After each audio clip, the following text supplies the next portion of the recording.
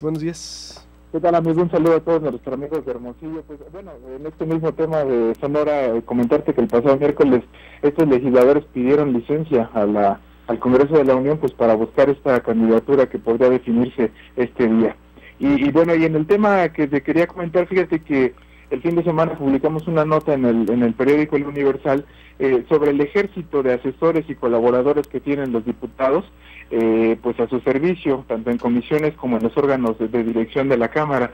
Sin embargo, fíjate que eh, estuvimos revisando todas las actas que tiene el Comité de Administración, que este órgano que se encarga de los servicios y dineros en la Cámara de Diputados, y pues hemos revisado todas las peticiones que hacen legisladores eh, para obtener más recursos al interior de sus comisiones. Sin embargo, también lo que piden son más plazas de asesores y de gente a su servicio. Eh, eh, tal es el caso, por ejemplo, de la presidenta de la comisión eh, del Comité de Información, Josefina Salinas del PRI, quien solicitó que se le asignaran 410 mil pesos más para llevar a cabo un taller de violencia contra la mujer en Ciudad Nezahualcóyotl, o el diputado Alberto Curi, presidente de la Comisión de Infraestructura, quien solicitó a la administración una plaza de confianza para uno de sus más cercanos colaboradores.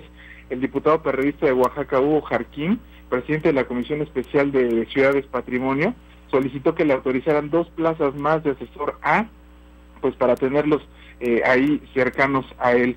También, por ejemplo, el diputado Francisco Grajales pidió eh, que se promoviera una nueva plaza de base para su empleada Esmeralda Heredia, eh, pues todo esto pues con cargo al erario y pues tú sabes obviamente que nosotros seremos los que pagaríamos todo esto. Sin embargo, todas estas peticiones fueron rechazadas porque obviamente el comité de administración eh, argumenta que ellos no tienen facultades y además de que pues ya se tiene un ejército de, burócratas al interior de la Cámara. Y más y más y más, es decir, cada año aumenta, ¿no? Aumenta, aumenta. Que me llama la atención. Exacto, aumenta y, y sabes que es lo peor que no hay un órgano que lo fiscalice ni que lo regule, ¿no? Y como que no les interesa. Es decir, desde el 2007 recuerdo que eh, saqué en su momento un reportaje de trabajo legislativo, bueno, no aviadores en la Cámara, y después el trabajo legislativo, es decir, para reforma, y me, sorprende cómo esto continúa creciendo con esta información contundente que das, estimado. En fin. Sí, sí, sí, pues sí, está, está complicado. Gracias. Eh, buenos días. Voy con más información, una nota.